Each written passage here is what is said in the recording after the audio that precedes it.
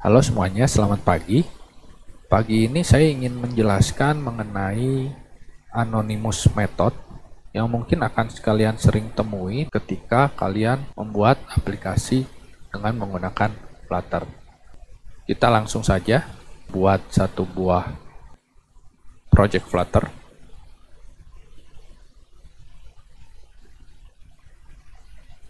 Berikan nama misalnya latihan anonymous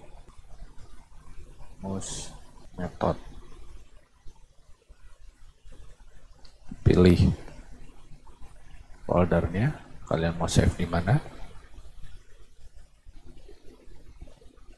Kalau sudah kita hapus seperti biasa. Dari paling bawah sampai atas hapus lalu kita buat yang namanya stateful widget. Tinggal ketik stf lalu beri nama my app. Nah untuk yang masih belum mengerti mengenai stateful widget itu apa kalian bisa melihat tutorial saya yang sebelumnya yang menjelaskan mengenai stateless dan stateful widget. Sekarang kita lanjut. Di sini saya akan mengembalikannya bukan kontainer tapi material app.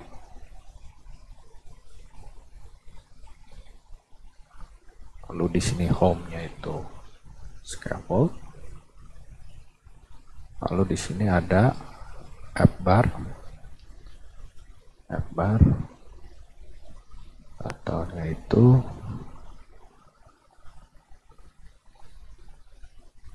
x ano Animos method.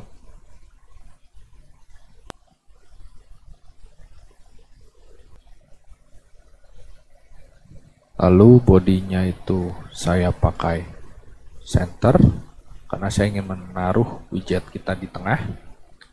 Lalu di dalam center ini childnya saya pasang kolom karena saya ingin menaruh beberapa buah widget Lalu supaya dia juga rata tengah secara vertikal maka main axis alignmentnya.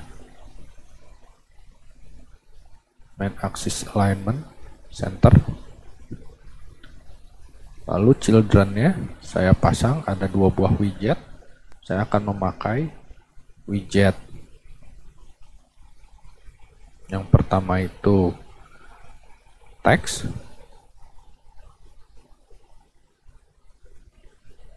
ini adalah teks misalnya.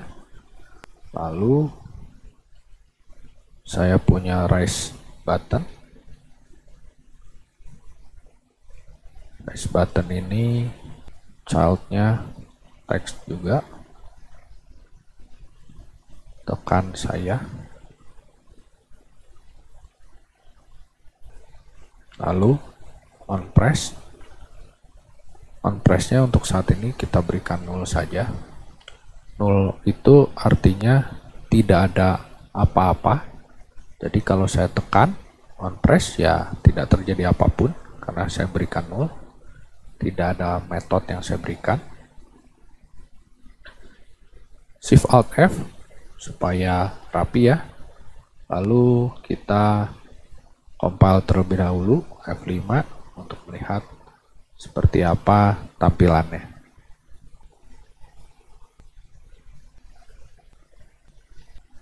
Oke, jika kalian berhasil, kalian akan mendapati tampilan seperti ini. Jadi di sini ada teks, yang tulisannya adalah ini adalah teks. Lalu ada tombol, tekan saya. Kalau saya klik, ini masih belum terjadi apa-apa ya. Nah, sekarang saya akan menambahkan sebuah metode di on press-nya press button ini sehingga ada metode yang menangani event ketika tombol ini ditekan. Nah, untuk menambahkannya saya akan buat di sini string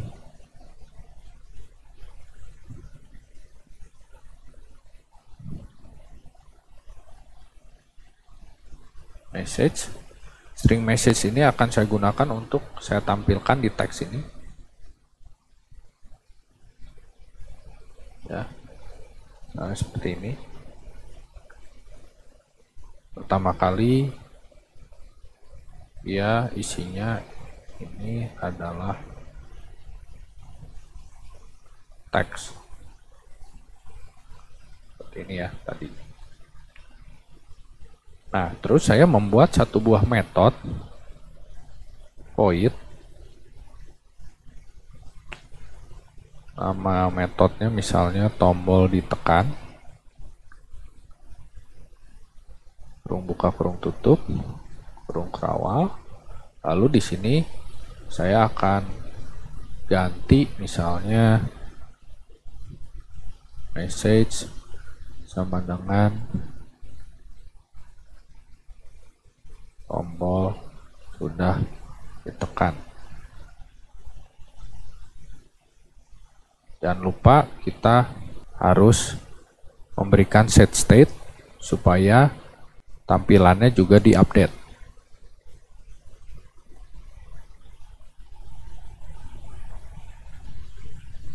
Set state nya kita masukkan ke dalam ya kita save kita coba.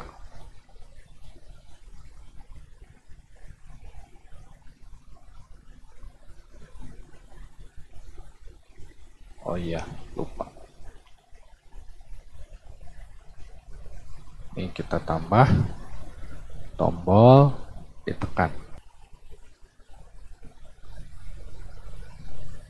Save. Kita lihat. Sekarang kalau saya tekan tombolnya dia berubah tombol sudah ditekan nah ini sudah mengerti ya. Di tutorial saya sebelumnya saya juga sudah pernah memberikan contoh seperti ini. Nah anonymous method itu seperti apa? Anonymous method itu sebenarnya berarti metode yang tidak memiliki nama. Saat ini, metode yang saya panggil di dalam onPress ini itu memiliki nama. Nama metodenya apa? Yaitu tombol ditekan. Nah, kapan kita menggunakan anonymous method atau metode yang tidak memiliki nama? Kita menggunakan anonymous method ketika metode tersebut hanya kita panggil satu kali saja. Maksudnya kita tidak akan pernah memanggil metode tersebut di tempat lain. Contoh seperti ini. Saya hanya ingin memakai metode tombol ditekan ini untuk tombol yang ini saja. Saya tidak akan memanggil lagi metode tombol ditekan ini di tempat yang lain. Oleh karena itu, kita sebenarnya bisa menyingkat penulisan kode program kita menjadi lebih ringkas lagi, yaitu dengan membuat anonymous method. Untuk membuat anonymous method itu kita tidak perlu lagi memberikan nama lalu mendeklarasikannya di atas seperti ini. Kita bisa langsung menulis di sini. Nah, untuk menulis anonymous method sendiri seperti apa? Untuk menulis anonymous method itu saya contohkan di sini ya. Caranya seperti ini, kita lihat ini parameternya kosong ya karena ini parameternya kosong kita cukup seperti ini ya, jadi kita cuma menulis bagian parameternya aja kalau di sini ada parameter berarti di sini juga kita tulis ada parameternya. Ya. Lalu kita kurung kerawal buka kurung kerawal tutup. Lalu kita ketikkan kode programnya ini di sini. Jadi cara menulisnya seperti itu. Mudah ya.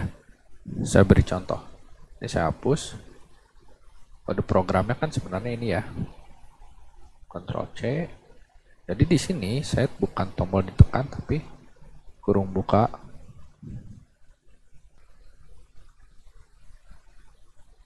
kurung buka kurung tutup. Kurung kerawal buka kurung kerawal tutup. Nah di dalam sini saya baru tulis kode programnya.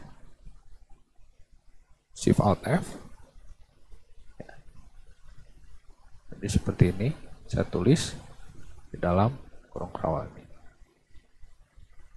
Jadi, kita sudah tidak memanggil lagi metode yang ada namanya, tapi metode yang sudah tidak ada nama atau anonymous method. Jadi kita bisa menghapus bagian metode tombol ditekan tadi. Save ini kita restart aja. Ya, jadi ini masih ini adalah teks. Lalu kalau saya tekan tombol sudah ditekan. Sama saja ya. Sebenarnya set state ini juga menggunakan anonymous method. Kalau kalian perhatikan, aslinya kan seperti ini.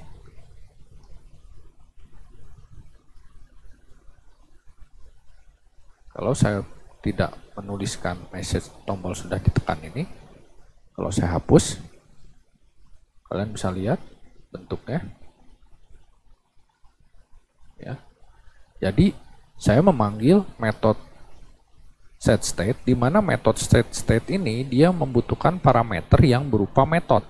Metode yang akan kita jalankan sebelum dia mengupdate tampilannya. Yaitu perintah ini, message diisi dengan tombol sudah ditekan.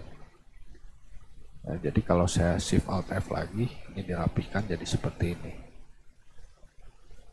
Oke, saya harap ketika saya menggunakan anonymous method lagi di tutorial-tutorial saya selanjutnya, kalian juga sudah tidak merasa bingung dan juga semoga hal ini dapat mempersingkat kode-kode program kalian sehingga kalian dapat membuat program dengan lebih cepat. Sampai jumpa di tutorial saya yang selanjutnya. Terima kasih.